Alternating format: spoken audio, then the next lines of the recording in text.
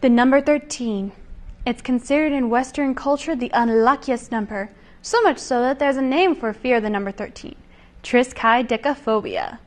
But, as someone who is named after number 13, I've always asked myself, why is this number considered to be unlucky? I mean, I've got my own segment on Fast Forward. My life doesn't seem that unlucky. Like many phobias, fear of the number 13 is based on myth and unfounded claims. For example, people believe that the fear of 13 goes so far as the Babylonian times of Hammurabi, where he supposedly omitted a 13th article in his laws. But it turns out to have just been a mistranslation.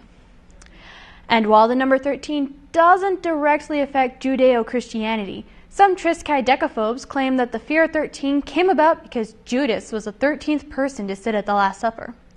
But again, the Bible never made a point on what order the apostles sat down, so once again, the idea is conjecture. To tell you the truth, you'd be surprised at how deep the superstition has run. Hotels delete whole 13th floors, some number stalls call 13 12A, so there must be some relation to the fear of 13. Right?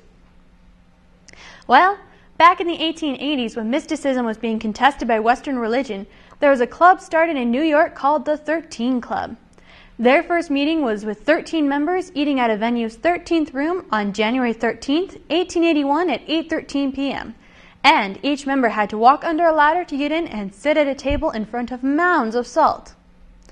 While the club had the formality of a book club meeting, all members of the first 13 club survived. In fact, 13 club branches sprang up throughout the United States and included prestigious members such as Chester A. Arthur and Theodore Roosevelt. So, while many consider the number 13 unlucky, it's about as true as saying that wearing pearls on a wedding is bad luck. It's all conjecture, and it all depends on whether or not you choose to let a number guide your outlook.